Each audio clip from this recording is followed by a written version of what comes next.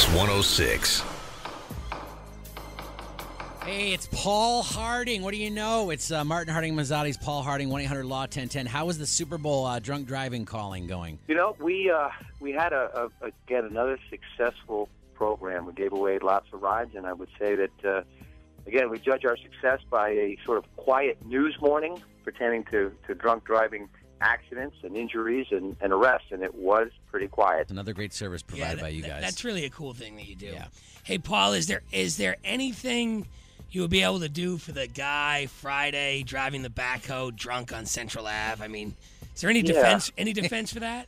Well, you know, we, we just weren't ready for that one, I guess. You know, I mean, uh, you know, we try to plan and, and plot these things out, but uh, yeah, that one caught me by surprise.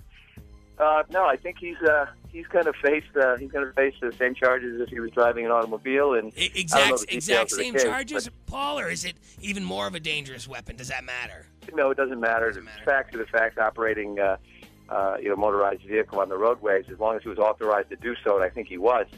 But yeah, just the oddity of it stuck out. Sure, Paul, sure what, did. what can I operate uh, while I've got a buzz on uh, on the roads? Can Your I, can I- lawnmower I can. in I, your- I in can. your yard? Okay, Yeah. in your yard. Yeah. What about what about ride? Is riding a bicycle? I know it's not motorized. Yeah, you you can do that too, you know. But if you went and run into somebody, then that's going to just sort of uh, won't be a criminal scenario, but it'll certainly add to your civil claim that we would have against you. All so right. And people that have, idea to be drinking and moving quickly. Yes. people yeah. have been busted, Paul, on horses. Drunk people on horses have been busted. Yeah.